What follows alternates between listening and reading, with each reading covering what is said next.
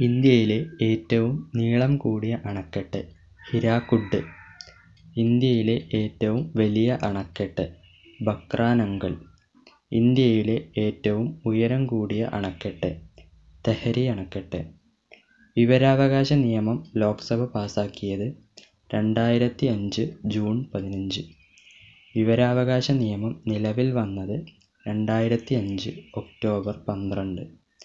വൈക്കം സത്യാഗ്രഹം നടന്നത് ആയിരത്തി തൊള്ളായിരത്തി ഇരുപത്തി നാല് ഗുരുവായൂർ സത്യാഗ്രഹം നടന്നത് ആയിരത്തി തൊള്ളായിരത്തി മുപ്പത്തി ഒന്ന് ഇന്ത്യൻ ഭരണഘടനയ്ക്ക് രൂപം നൽകിയത് ഭരണഘടന നിർമ്മാണ സഭ.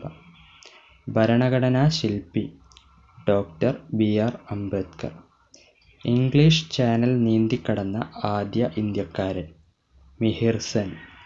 ഇംഗ്ലീഷ് ചാനൽ നീന്തിക്കടന്ന ആദ്യ ഇന്ത്യൻ വനിത ആരതി സാഹ.